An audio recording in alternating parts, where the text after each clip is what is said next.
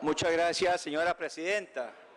Para seguir en el mismo orden de mi compañero Pedro Muñoz, y, y lo digo con toda honestidad, compañeros del PAC, específicamente a la compañera Paola Vega, no tiene la agrupación del PAC la verdad absoluta de las cosas.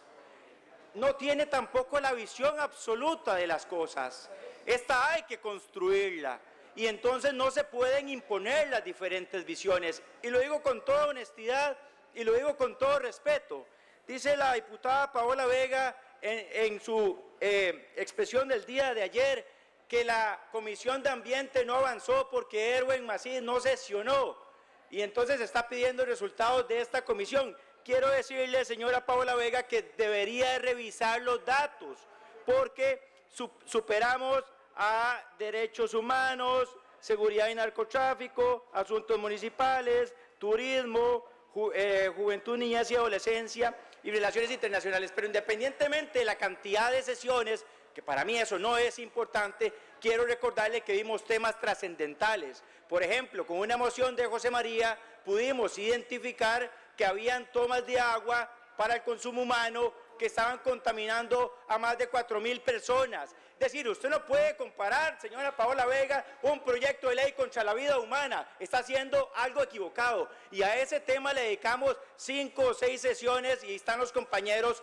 de ambiente que no me dejan mentir. ¿Y por qué lo hicimos? Porque es mejor proteger la vida humana que estar inventando otro tipo de proyectos. Y específicamente sobre el tema de energía, tengo que decirle que ¿Cómo podemos continuar si ni siquiera estaban convocados los proyectos? Efectivamente, Pedro Muñoz tiene razón, no estaban convocados los proyectos de generación distribuida.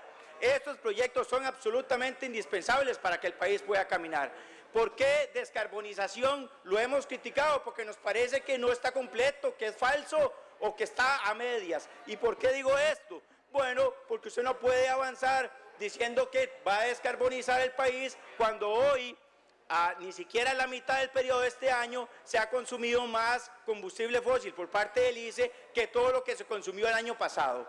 Es decir, estos temas hay que construirlos, pero sin establecer mi visión, sino que hay que hacerlo genérico porque la visión de todos es la que construye. Pero le tomo la palabra. Justamente ayer, que dicha que llegó la diputada Paola para que me termine de escuchar, justamente ayer eh, eh, presenté, bueno, no presenté, estoy recogiendo firmas de esta moción para que conformemos una comisión especial y empecemos a hablar de los temas de energía. Y por supuesto que me llama la atención que usted nos dice que esto hay que verlo sin matices ideológicos. Por supuesto que hay que verlo sin matices ideológicos, pero entonces, ¿por qué usted de entrada dice que hay que eliminar la producción del sector privado? Si eso no tiene un matiz ideológico, no sé qué cosa lo tenga. Entonces, eh, lo que propongamos tiene que ser coherente con lo que hacemos, porque si no, el discurso no sirve, es falso, queda a medias, queda a medio camino, no se entiende por parte de la población. Esta moción propone la creación de una comisión especial Ojalá que todos la puedan valorar a conciencia para ver el tema de energía y para que el país pueda planificar en materia de energía y para que podamos ver si efectivamente hay que derogar una ley o hay que construir más bien otra ley o para que nos fijemos a ver por qué la energía sí cuesta más barata en Panamá, posiblemente porque están utilizando gas natural. ¿Y sabe qué vamos a terminar haciendo nosotros? Comprando la energía de Panamá que sí la producen los privados porque nos va a salir más barato que la que estamos produciendo nosotros en el país.